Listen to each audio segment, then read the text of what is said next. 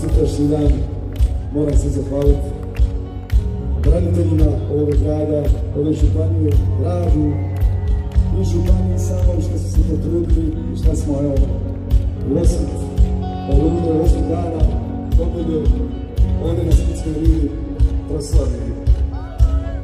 Hvala što ste došli i čestitam svima dan pobjede, dan domovinske zahvalnosti i dan hrvatskih branitelja.